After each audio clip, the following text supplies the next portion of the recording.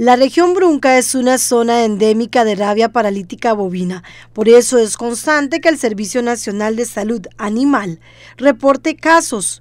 En lo que va de este 2022 se registran dos. El primer brote se reportó en Guayabal de Boruca en mayo anterior y en este mes se dio otro en una finca ubicada en las vueltas de Potrero Grande de Buenos Aires. Costa Rica, a pesar de que estamos declarados desde la década de los 70 libre de rabia furiosa, la región Brunca en general es endémica de rabia paralítica, o sea, somos una zona que ya lo tenemos en el ambiente, el virus siempre anda rondando, por tanto es la importancia de mantener los animales vacunados.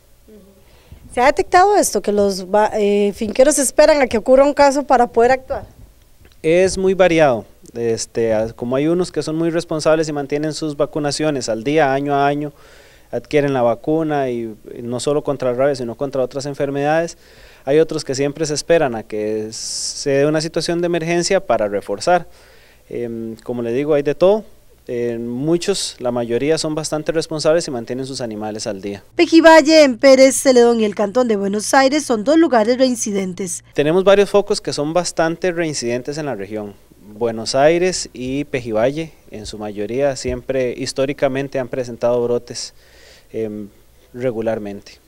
Tengo entendido que ustedes también hacen la cacería de estos eh, murciélagos. Correcto, parte de las acciones que nosotros utilizamos, aparte de la inoculación y la vacunación de los animales, es reducir la, la población de los vampiros.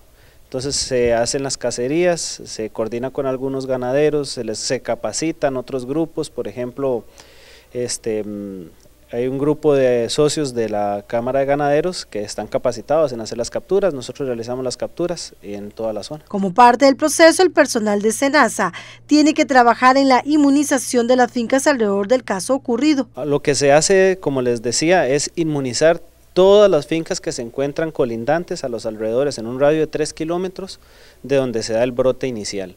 Eso lo que nos hace es prevenir que otros animales vayan a ser afectados y por tanto contener el brote donde se dio eh, inicialmente. En este caso, como le digo, los 1010 animales se inmunizan y se repite dentro de un año la vacunación. Eso es algo muy importante. es una enfermedad que aunque no tiene cura, se tiene como prevenir, que es por medio de la vacunación.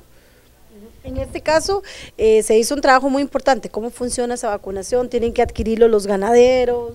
Eh, correcto, este, la compra la hace el ganadero, nosotros sí hacemos la vacunación en, el, en la finca afectada, esa sí la realizamos nosotros, y el resto se coordina con los ganaderos propietarios para que ellos adquieran la vacuna y hacer la inmunización. De ahí que el principal consejo a los ganaderos es que vacunen a sus animales. El principal consejo es mantener a sus animales vacunados, sí, muy importante.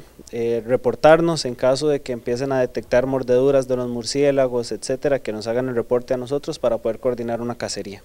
Bueno, y es que estos tipos de animales lo pica el murciélago, la enfermedad, y es eh, pérdida para la finca. Por supuesto.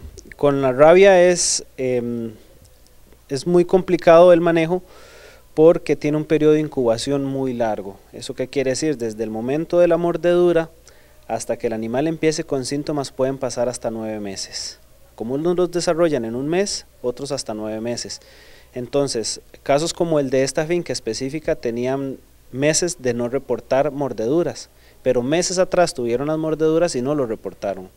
Entonces, ese periodo de incubación hace un poco más complicado el manejo del, del brote porque como les digo, ahorita no reportan mordedura, pero tuvieron meses atrás y ese periodo de incubación es el que nos hace la pérdida, por ejemplo, del rastreo de estos animales, de no poder hacer la cacería un poco más inmediata para tratar de contener la, la propagación como tal. Cabe indicar que el ser humano se puede contagiar. Solo contacto con sangre. En el caso de las personas, sí, si nosotros tenemos contacto con los fluidos del animal a la hora de tratar, porque muchas veces cuando empieza la sintomatología, el ganadero lo que piensa, no piensa en rabia, piensa en alguna otra enfermedad y empieza a ponerles tratamiento, a manipular los animales, el ser humano sí se puede contagiar por contacto con saliva o con fluidos en general del animal. En este caso, ¿esta familia no se vio afectada de alguna forma? ¿o el, ya ahí el Ministerio de Salud y la Caja corren con todo lo que les compete a ellos en respuesta al brote, supongo que muestreos, etcétera, ya con, con los propietarios como tal de los animales y la gente que los manipuló.